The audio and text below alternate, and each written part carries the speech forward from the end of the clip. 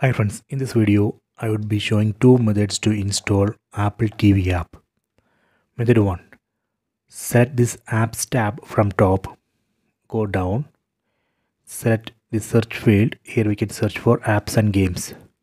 Select, then here type Apple.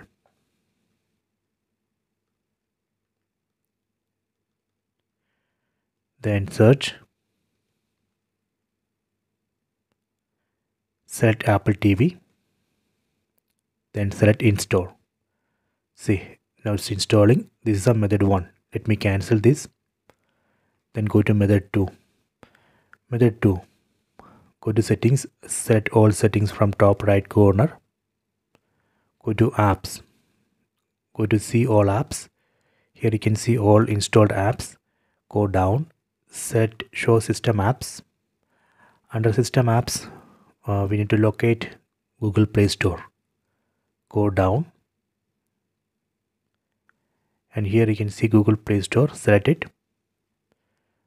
Then open. This is Google Play Store. If you go top here you can see apps and games uh, section. Then you can go to the search. And here you can search for Apple here you can see apple tv select install. See now it's installing. See this is a method 2 these are two methods to install apple tv please try this. I hope you have enjoyed this video. Please subscribe this channel. Please like and share the video